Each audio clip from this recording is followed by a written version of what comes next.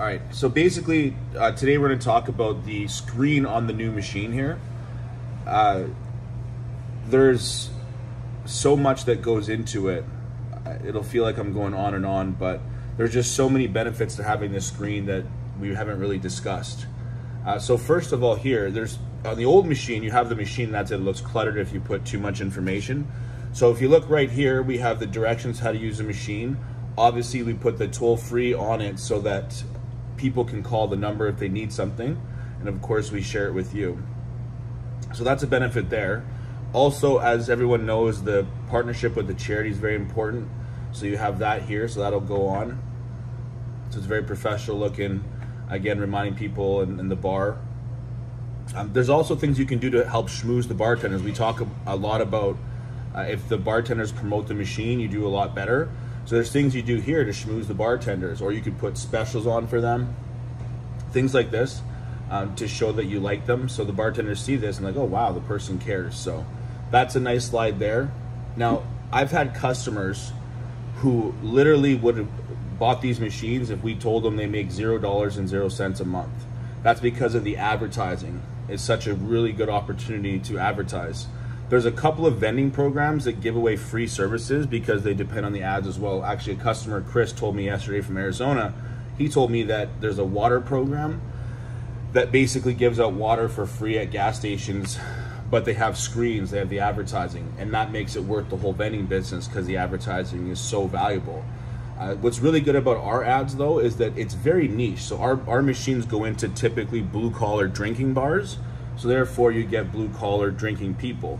Uh, for example, football, uh, it's, it's very valuable advertising for beer. You see beer ads all the time because people typically drink beer when they're watching football. Kind of goes hand in hand. So it's more valuable. So therefore any type of uh, criminal defense lawyers or any blue collar ads, uh, for example, you wouldn't see uh, you wouldn't have a BMW dealership here, for example, but Ford, Chevy would be perfect. So right here we have an example of an ad for Chevrolet.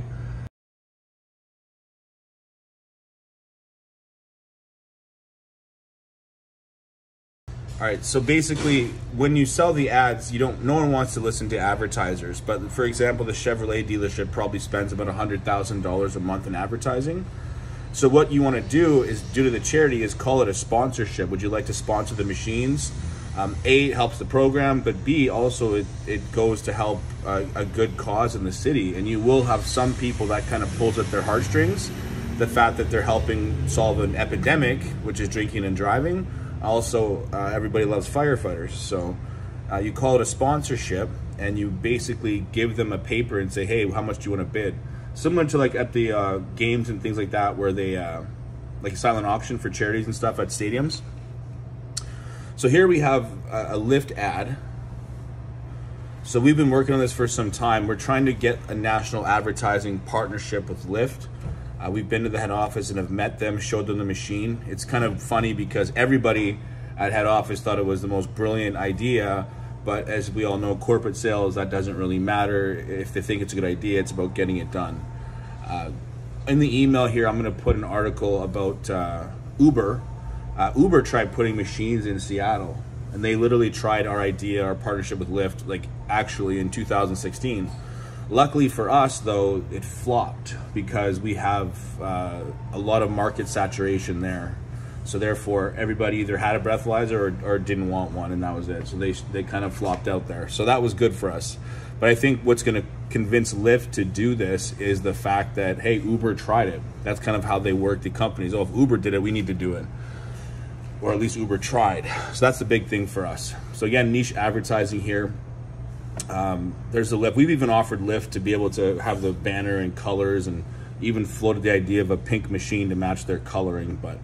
Uh, but also, DraftKings will be huge because they've legalized sports gambling all over. So that's a big one too. So the, the point is, there's national ones we're working on, and also uh, local ones here. So I mean, again, isn't this a no-brainer here, Chevrolet? Like to spend 250 a month to get their name on 25 machines.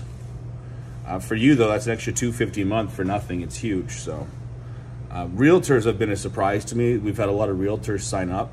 Also, casinos have been good. but stuff like this also for promoting. If you look here for, we're not in LA obviously, but I'm hoping that our LA customers will do this. Uh, something for Kobe Bryant, obviously. Uh, I know one customer in Houston for the Houston Astros. They put on the logo "Go Houston," uh, things like that to help draw attention to kind of make people like the machine, if that makes sense. So there's all kinds of stuff you could do. It's literally a business within a business. This screen, so that's a big part of. As you can see, it's, it's touchscreen's kind of cool. Here you can flip through, and that.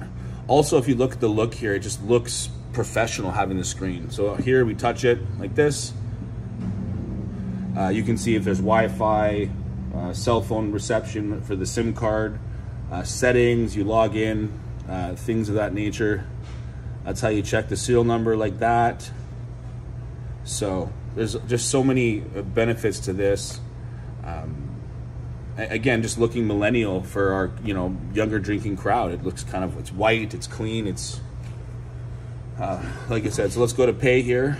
So, so this is just for now, but what's neat about the machine is you can we're going to add in other payment options. It's software. It's like your iPhone or a PS4. It'll do an update, so I can update the machines, and it'll take Apple Pay, Android Pay, chip it's got lot, but for now, we wanted to keep it simple for people, make sure everything's working. But like I said, those things, it's equipped to have those things.